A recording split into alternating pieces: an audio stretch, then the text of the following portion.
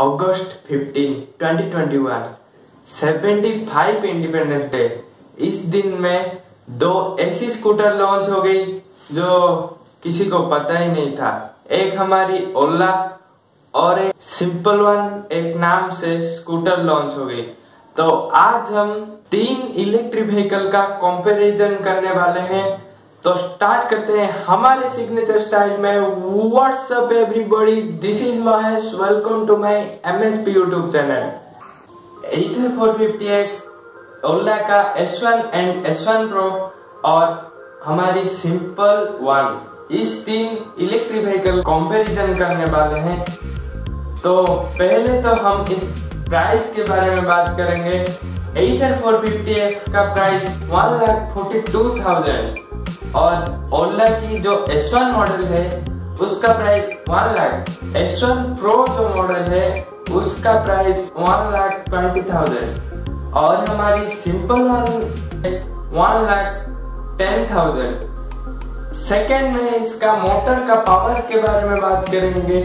एथर 450 का motor power है 6 kilowatt और सिंपल वन का है 7 किलोवाट लेकिन ओला का जो मोटर है, वो सबसे पावरफुल है 8.5 किलोवाट टॉर्क टॉर्क इसका एथर का टॉर्क है 26 न्यूटन मीटर ऑफ़ टॉर्क और ओला स्कूटर का टॉर्क है 58 न्यूटन मीटर ऑफ़ टॉर्क लेकिन जो सिंपल वन स्कूटर है, उसका 72 न्यूटन मीटर ऑफ़ टॉर्क एक नॉर्मल बाइक के जैसा ही इसमें टॉर्क दे दिया है, इस इलेक्ट्रिक व्हीकल में रेंज तो भैया, कितने किलोमीटर जाती है इलेक्ट्रिक व्हीकल कम ही जाती होगी।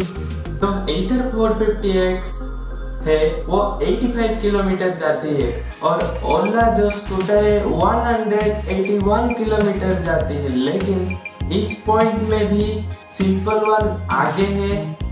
203 मतलब 203 किलोमीटर ये एक चार्ज में जाती है।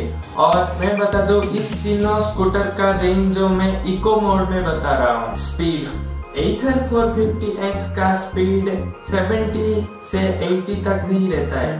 लेकिन जो सिंपल वन का स्पीड है 105 स्पीड रहता है 105 और ओला का ओला स्कूटर का जो स्पीड रहता है, सबसे ज़्यादा रहता है 115 115 मतलब कि एक नॉर्मल बाइक के मुकाबले में भी ज़्यादा। तो आपको ये तीन इलेक्ट्रिक व्हीकल में से कौन सा ज़्यादा अच्छा लगता है कमेंट में बताना। मिलते हैं और एक नई फ्रेश ब्लॉग के साथ। Keep blogging keep supporting signing off bye bye